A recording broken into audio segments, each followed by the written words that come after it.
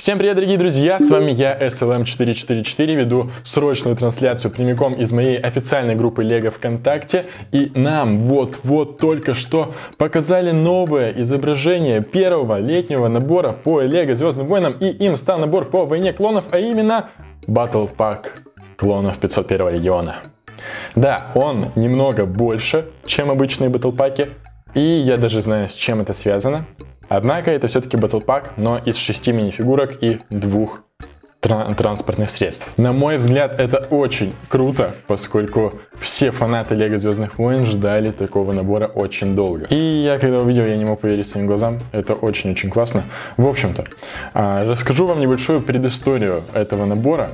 А, на одном каком-то американском YouTube-канале, если я не ошибаюсь, тоже у какого-то обзорщика а, начался какой-то флешмоб. Он запустил хэштег Лего выпустите э, Battle Pack 501 Легиона. Или он просто сказал спамить Инстаграм э, Лего официальный и писать в комменты, чтобы они выпустили такой Battle Pack. В общем, на Лего вообще набросилась куча-куча Лего фанатов. И они, по-моему, в Твиттере потом ответили, что типа перестаньте, плиз, мы услышали ваши просьбы, и мы их рассмотрим. И вот они выпускают это. Но вообще люди просили обычный Pack из четырех мини-фигурок, маленький, но Лего выпустили вот это. Почему? Это уже коммерческая точка зрения. Они выпустили набор побольше, они знают, что этот набор все хотят, и все его будут покупать, и он будет стоить не как обычный Pack, в Америке вроде Pack стоит 15 или 20 долларов, а как набор побольше, уже средний набор 30 долларов он стоит. То есть, ну, в России он будет, наверное, 2000 или 2500 стоить, смотря что будет у нас дальше твориться с курсом. И с одной стороны, для нас это не очень хорошо, то, что набор дороже и нельзя будет покупать его в больших количествах для того, чтобы собрать армию. Но для америкосов это вполне нормально, потому что для них 30 долларов это как для нас 30 рублей. Ну, то есть не, не очень большая цена. Вот.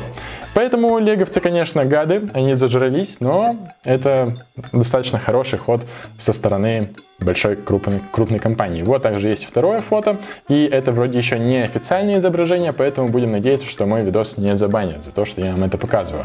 Вот. Но давайте пробежимся. Здесь у нас есть Bark Speeder и AT-RT. Мне обе постройки нравятся. Единственное, что не нравится в AT-RT, это пушка. Она вообще стрёмная, но я думаю, что можно будет спокойно его перебрать. Много деталей на пушку не понадобится. А, а также ноги, они какие-то у него, вот нижняя часть дряхлая какая-то. По-моему, не хватает какой-то броньки. Вот, но в целом неплохо, неплохо. Самый сок это, конечно же, новые клоны. У них новые принты на шлемах. И лично мне они зашли и нравятся. Но я вот тут почитал в комментариях у меня в группе, кому-то не понравились шлемы, кто-то больше старые предпочитает, но на мой взгляд получилось просто шикарно. У нас есть три обычных трупера и один джет трупер. И этот набор выполнен по игре Star Wars Battlefront.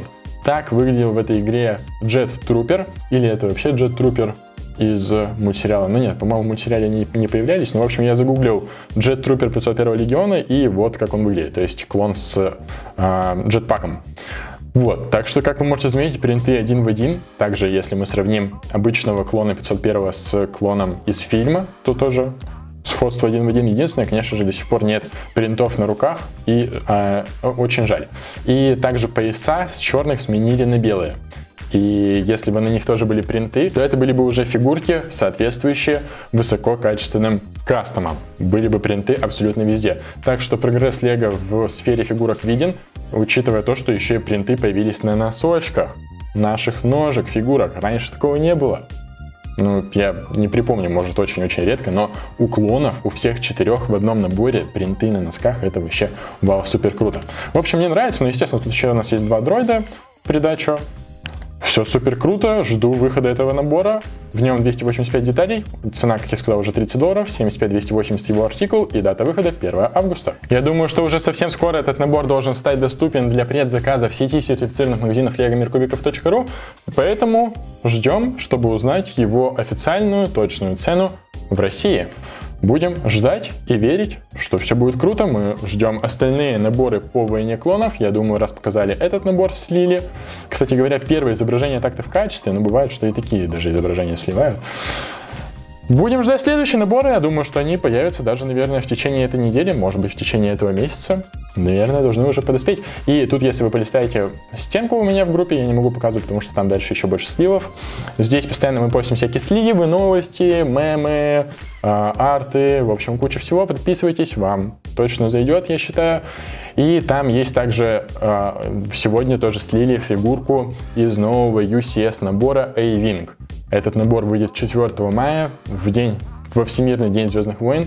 Так что ждем несколько новых наборов, новиночки. Вот так вот, уля-ля. Пишите, друзья мои, в комментарии к этому видео, что вы думаете по поводу этого набора, ждете ли вы его, будете ли вы собирать армию клонов, если цена будет хорошей, нормальной, приемлемой, более-менее хотя бы. И ставьте лайки, подписывайтесь, прожимайте колокольчики, и смотрим мои видосики еще больше во время карантина. Всем спасибо за просмотр, друзья мои. С вами был я, SLM444. Еще увидимся. Пока, друзья. Пау!